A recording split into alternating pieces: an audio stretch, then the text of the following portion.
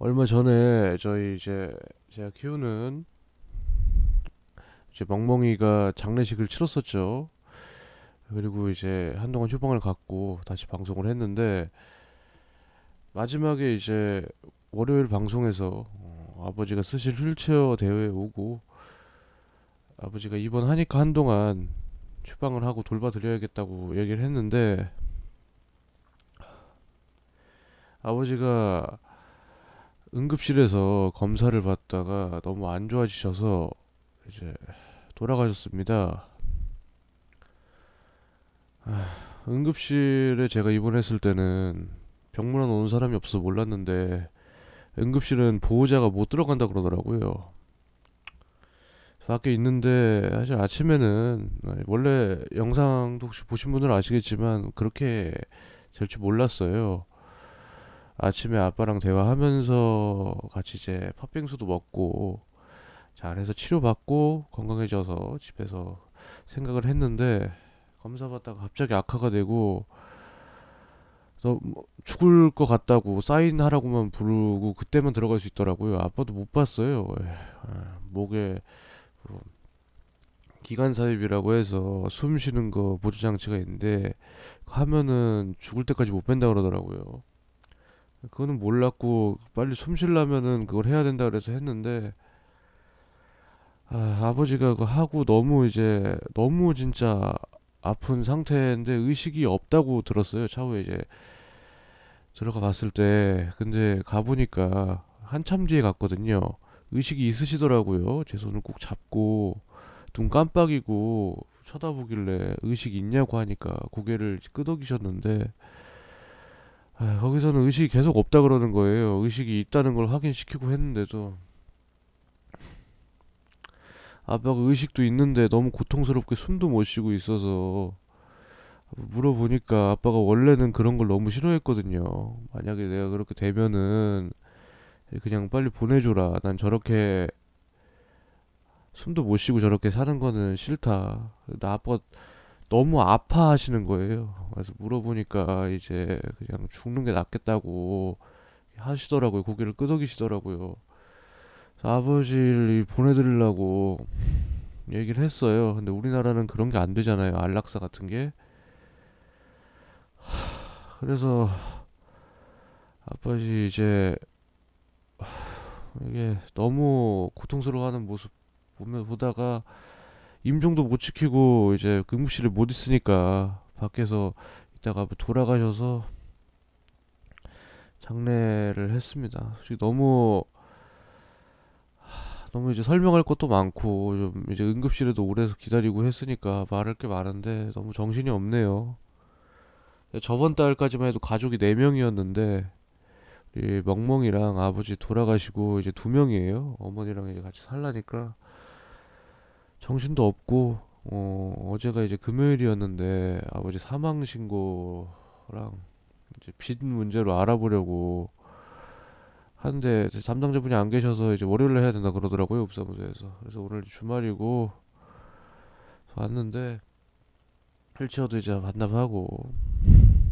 아 너무 정신이 없네요. 아버지가 되게 이제 강인한 분이셨어요 원래 이제 증조 할머니랑 할머니도 외가 쪽에 전부 우리 아버지가 모셨거든요. 우리 이제 엄마가 이제 막내고 할머니가 이제 중간이신데 진짜 할머니도 그렇고 엄마도 그렇고 아빠도 그렇고 엄청 효도하면서 나도 이제 당연히 돌보고 굉장히 젊었을 때 20대 초반에 결혼하셔서 결혼한 다음에 제가 생기고 분유값 벌려고 진짜 너무 열심히 일하셨거든요. 아버지가 저랑 다르게 굉장히 이제 똑똑하시고 정신력도 강하신 분이라 이제 같이 일하는 사람이나 친하게 지내셨던 분들 중에서 항상 리더 역할도 하고 의지가 되는 분이셨고 저도 정말 많이 의지를 했는데 아버지가 약한 모습 보이기 싫다고 얘기하셨고 그래서 장례식은 하고 입관하고 다 하고 장례식을 그거를 안 했어요. 방을 빌려서 이제 사람들 부르는 거를 조용히 어머니랑 저만 하고 화장까지 다 한 다음에 주변 주변이라고 할 건 사실 별로 없죠. 너무 속상해가지고 이제 뭐 평소에 연락 안 되던 사람들한테도 연락을 넣고 그랬었는데 어디 말할 데도 없고 해서 아, 너무 끔찍하네요. 아버지가 돌아가셨다는 게 사실 너무 이제 와닿지도 않고 집에 이제 구급차를 타고 갔어요. 아버지 원래는 이제 휠체어로 모시고 가려고 그랬는데 너무 이제 뭐 하다 악화될 수도 있으니까 갔는데 아휴 제가 그 장례식장이 24시간 동안 모셔야 된다 그러더라고요. 그 안치실에 냉동 안치실에. 자, 아버지 24시간 뒤에 왔는데 사실 너무 정신이 없어서 응급실에서는 아빠 검사 결과도 못 들었어요. 그 물어봤는데 담당 의사가 없다 그래가지고 결국 이제 간호사님이 대충 이제 알려주셨는데 아 너무 정 미치겠네요. 응급실은 제가 사실 몇 번 갔잖아요. 많이 좀 그 아픈 게 좀 있으니까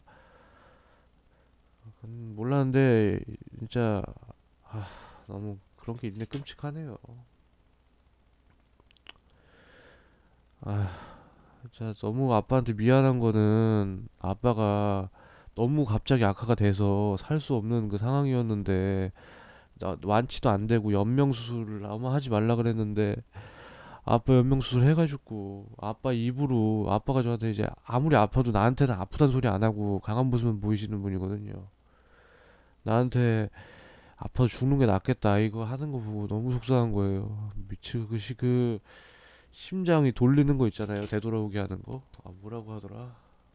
그거 한- 하면서 갈비뼈가 골절 됐을 수도 있다고 얘기도 들리는데 그 아픈 와중에 손 꽉 잡고 아파서 이제 꼼짝도 못하는 이제 죽을 것 같은 와중에도 손 꼭 잡고 고개 흔들면서 우리들이 이제 보내 그 우리가 이제 응급실 나가야 되는데 보내주기가 너무 싫어서 붙잡고 이제 눈물 흘리시면서 꽉 붙잡고 있는데 그걸 제가 이제 잊고 싶다 그래도 이제 거기 주변에 중환자 환자분들도 있잖아요. 나왔어요. 근데 임종도 못 지키고 끌려 나오고 해서 너무 이제 정신도 없고 해서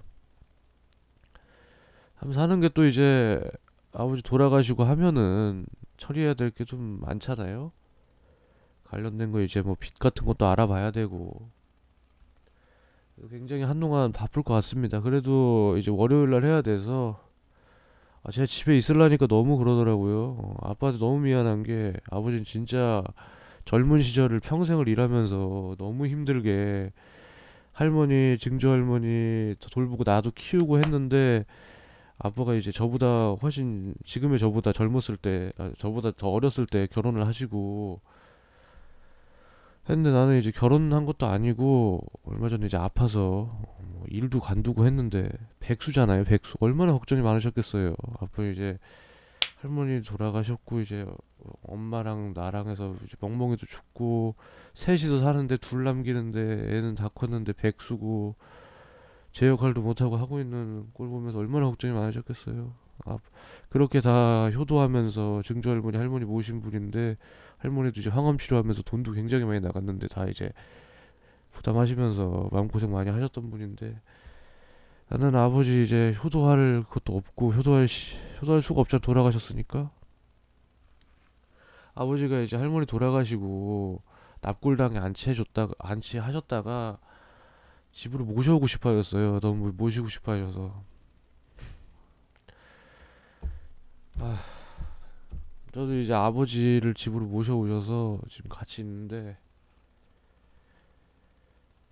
아 어찌됐건 너무 이제 사실, 사실 저도 이제 약간 어디 얘기할 데도 없고 그래요. 지금 백수고 어디 같이 말할 데도 없고 상담할 데도 없고 대화할 데도 없고 그래서 약간 말이 길어졌는데 여러 가지로 이제 안 좋은 일 있어서 약간 정신도 못 차리고 방송도 솔직히 키면은 너무 속상해가지고 아무것도 것 같고 그래서 이제 처리할 일들도 있고 그래서 한동안 휴방하는 걸로 하겠습니다.